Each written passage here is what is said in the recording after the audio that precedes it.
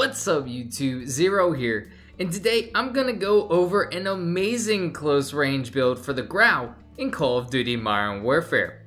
So first we're gonna take a look at some gameplay and I'm gonna talk about this setup and then at the end of the video stick around to see the attachment overview of this gun. Now before we get into it, I do want to say that if you do enjoy this video, feel free to give it a thumbs up and subscribe to my channel for more Call of Duty content. It really does help out me and my channel. I really do thank you and appreciate it in advance. And like a couple of my other videos, I am competing in the Faze 5 Challenge. This is going on until September 18th, so it does help me out in that as well. Now let's talk about this gun now that we've gotten introductions out of the way. I have this set up to be extremely mobile. Now, we all know the Grau. it is one of the best, if not the best, long range assault rifle in Call of Duty, at least automatic assault rifle in Call of Duty, not taking into account guns like the FAL.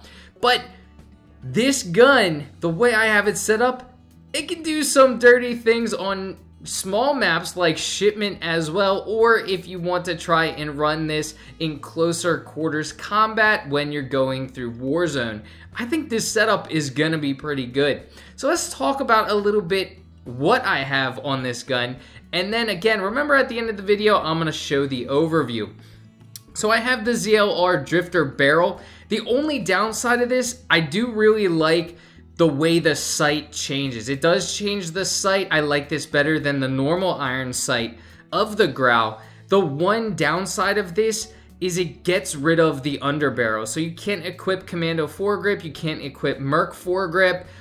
That's just something to note, although I do think this is an awesome barrel for closer range builds. Now I have the 1 milliwatt laser. Of course, a very good thing for close range builds, helps you with that hip fire accuracy, which is always important when you're trying to do those close range builds, especially for shipment or other close range maps.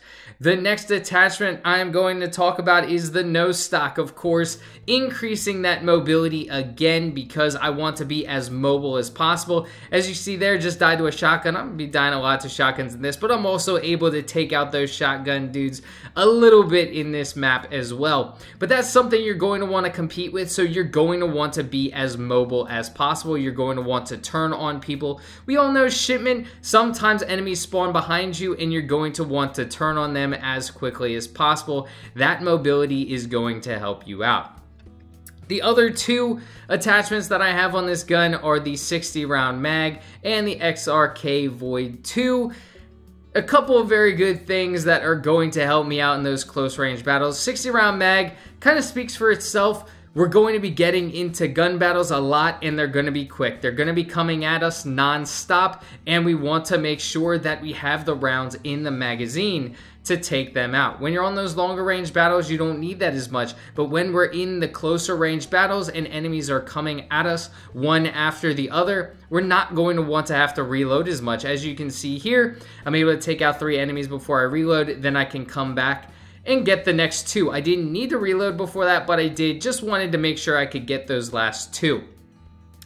So overall, I think this is a fantastic setup if you want to use the Grau in closer range combat scenarios. If you're using it on shipment or on other close range maps, perhaps you want to use it as close range in Warzone. I don't know why you would, but if you do, this is an option for that as well. Again, this is a great long range gun, but if you want to make it a close range gun, I think this is just an amazing setup.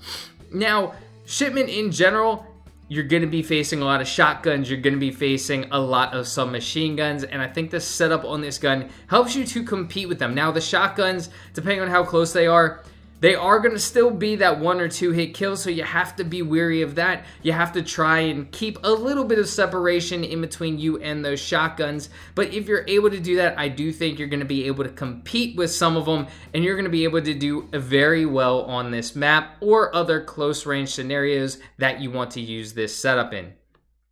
So you can see my statistics from this game on the screen. Didn't do too bad. It was a pretty quick game. And there is the final attachment setup on the screen as I described during this video. And we can see the stat allocation. I'm really just increasing that mobility as high as possible.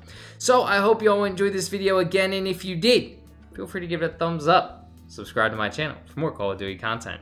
Well, until next time, peace.